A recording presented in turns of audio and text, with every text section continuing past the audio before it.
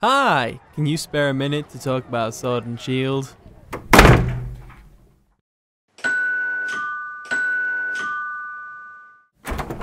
Hi, have you got time to talk about our Lord and Savior Game Freak? Sword and Shield will be the greatest games in the history of games, and you should pass it down to your children and their children's children. No, but seriously, I'm really excited for Sword and Shield, but the game seems to be getting a lot of hate recently. The root of all that hatred is, of course, the lack of the national dex, which means that only Pokemon in the Galar regional dex will be in the game. Ever. Hey, if you're one of those bring back the national dexers, we don't take too kindly to your type around here. If you don't like the lack of inclusion of a feature included in every core game since release, then you should just get out. Everyone can have their opinion, but when you're spamming hashtag bring back the national dex on every single tweet any of the Game Freak team, Nintendo's, or the Pokemon companies makes, then you should probably go f yourself. But hey, that's just my opinion. I'm allowed that, right?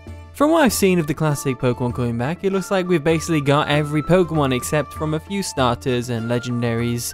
And the new Pokemon so far have been great. I especially love Polteageist. It makes me want a cup of tea, Governor! So, unfortunately, it does look like Tiny Tim's Chimchar will be stuck in Pokemon Home this Christmas. Poor Tiny Tim.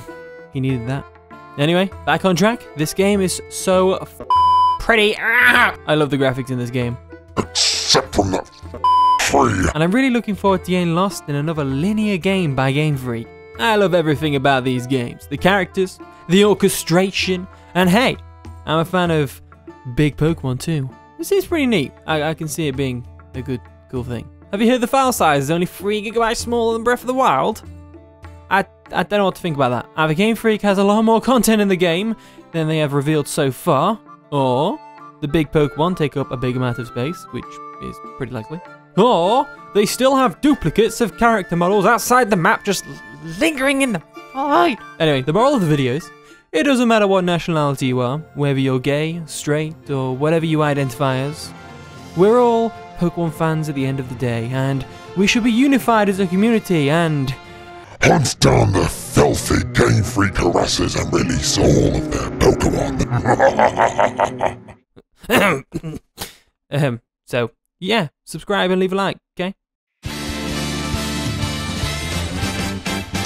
My name is Cleveland Brown, and I am proud to be right back in my